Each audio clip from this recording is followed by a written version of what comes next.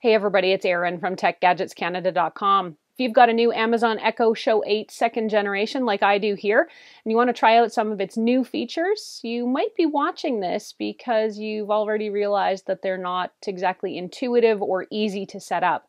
So in this video, I'm going to show you how to set up Alexa Home Monitoring, which allows you to use your Show 8 second generation as a surveillance camera.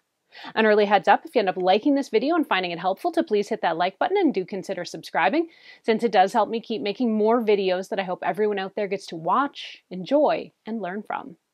Start on your Echo Show device. Swipe down from the top of the screen and then choose Settings. You'll tap Camera and then set the Home Monitoring toggle to On.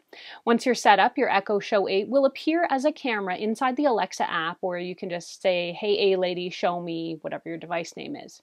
To view the camera in your Alexa app, you can go to Devices and then choose Camera and select your Echo Show 8. That's it. Now you can peek in on your space to make sure the kids are all right or to see what your dog is doing.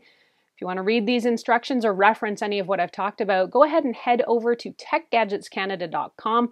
I've posted a full write up there, and you can ask me any questions you have about how to do these Alexa enabled skills either there on the blog or, as always, here on the YouTube channel.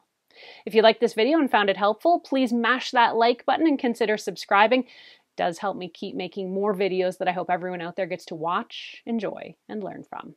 Thanks so much for watching. I'm Erin. Until the next time, you can find me on either Twitter or Instagram. I'm at ErinLYYC.